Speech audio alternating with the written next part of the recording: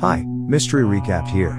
Today, I'm going to explain an episode called Nosedive from the British science fiction series Black Mirror. Spoilers ahead. Watch out and take care. The movie sets in a possible near future scenario in which society is dictated by a rating system ranging from 1 to 5 stars. In this kind of society, each individual gives a rating to one another, depending on their interactions. The social and economic position that one has in this kind of society is determined by that person's overall rating. There are benefits for those with 4 and 5 overall ratings.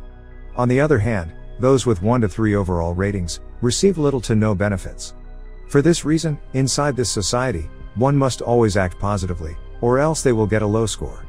The episode begins with a woman jogging in a suburban village while holding a phone. The woman, Lacie Pound, is looking at her phone inspecting what seems to be postings from other people, which she gives a rating of 5 stars each. After jogging, she looks at the bathroom mirror and practices all kinds of giggles and laughs. In her eyes, a faint light can be seen, indicating some sort of technology. Lacie lives with her brother Ryan, who has a lower approval rating than her and she is eager to move out. Lacie then leaves the house to have lunch.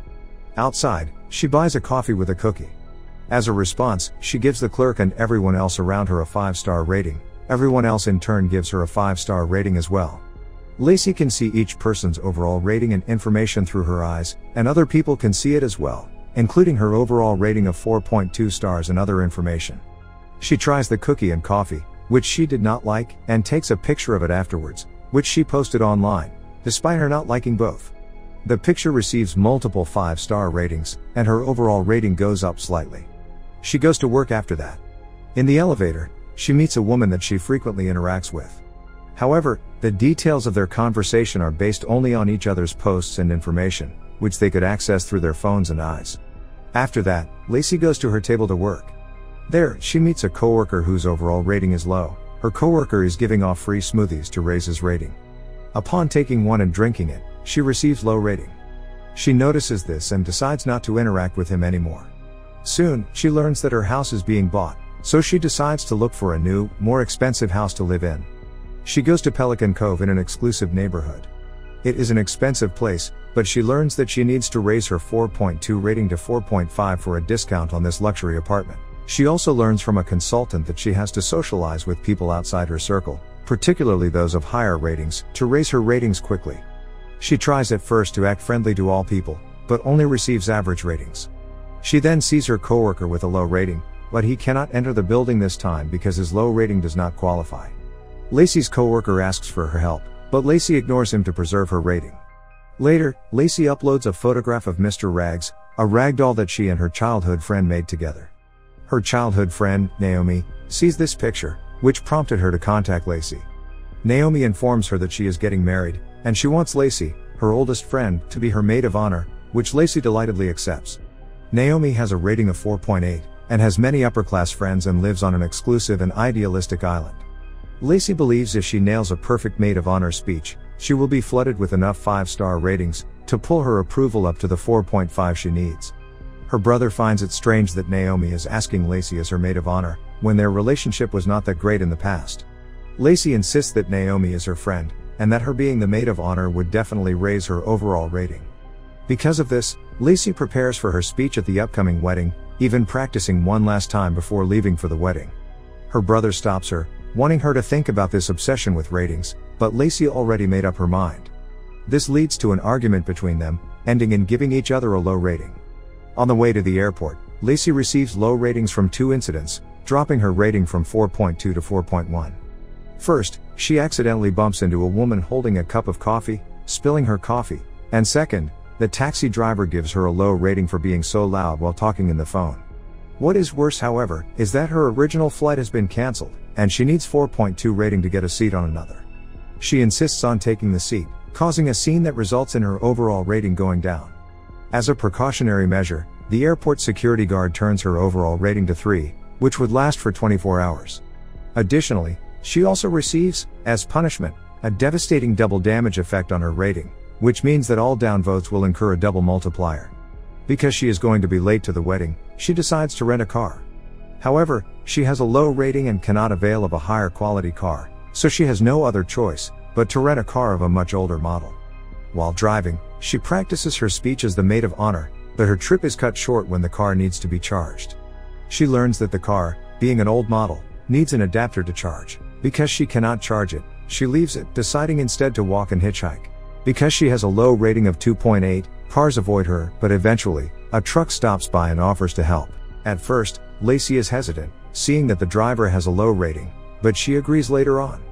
While driving, the truck driver, an older woman, asks Lacie where she was going and why she was going there. Lacie tells her that she is the maid of honor in an exclusive wedding. The truck driver tells her that she was once like her, she had an overall rating of 4.6, and she was always aiming to receive a high rating in the belief that it will lead to a good life. However, her husband got cancer, and she did everything for her husband, even taking him to an exclusive hospital, but he was rejected because his rating was deemed not high enough.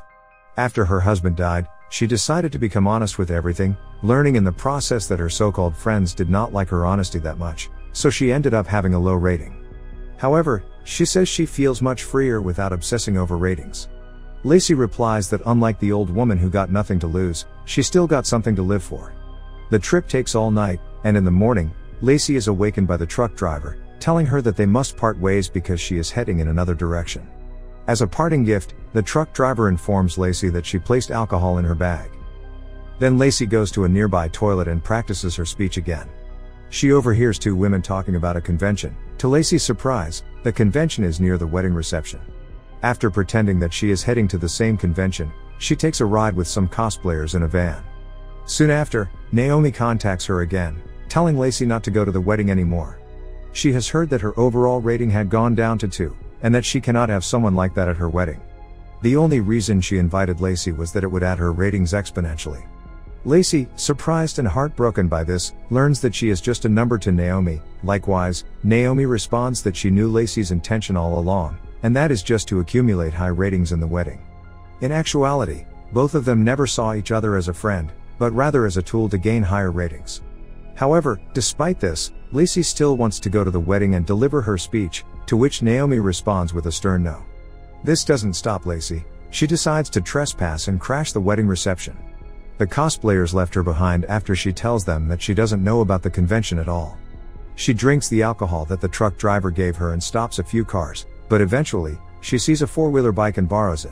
She finally reached the reception by sneaking at the back, but not before falling into a swamp and getting dirty.